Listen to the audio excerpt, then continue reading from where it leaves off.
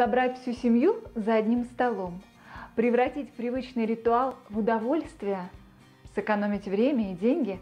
На что еще способен этот красавец, узнаем в сегодняшнем обзоре.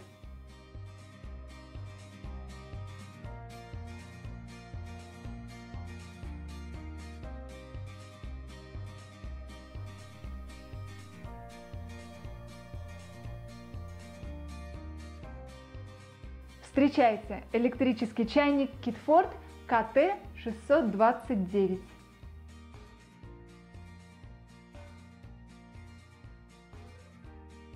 Казалось бы, ну что еще можно придумать? Чайник, он и в Африке чайник, кипятит воду и ладно.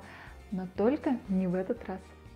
Как заявляет производитель, этот чайник способен не только кипятить воду, но и разогревать ее до нужной вам температуры, а также поддерживать ее до двух часов.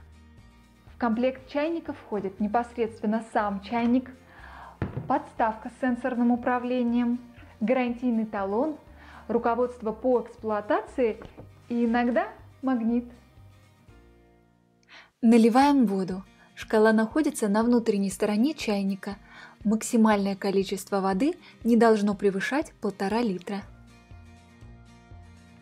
Кипятим воду. Устанавливаем чайник на платформу. Нажимаем клавишу «Включить» и видим температуру налитой воды.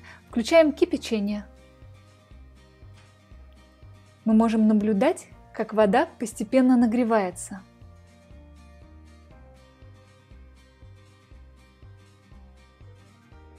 Через четыре с половиной минуты мы услышим сигнал. Вода вскипела. Какой чай любите вы? Черный, зеленый. Разные сорта чая рекомендуют заваривать при разной температуре. Чтобы задать нужную температуру, включаем чайник и нажимаем соответствующую кнопку «Шаг 10 градусов». Потом нажимаем «Подогреть». Например, мы с мужем любим пить чай 70 градусов. Для нас это идеальная температура, горячо, но не обжигает. После нагрева мы снова услышим звуковой сигнал.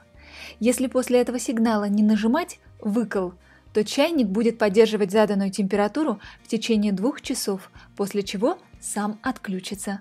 Очень удобно. Красивый, приятные материалы на вид и на ощупь не оставляет отпечатков. Интуитивно понятное управление, не шумный, не нагревается, э, то есть нельзя обжечься. Поддерживает выбранную температуру до двух часов.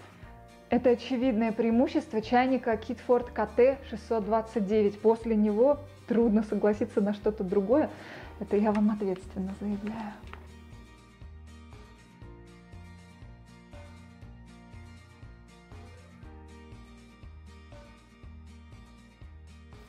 Все нормально. Да. Встречайте, электрический чайник Kitford КТ 60 629. Все. Алис, ты когда мы с ним... Все, съемка окончена. Хочу чай. Будешь чай?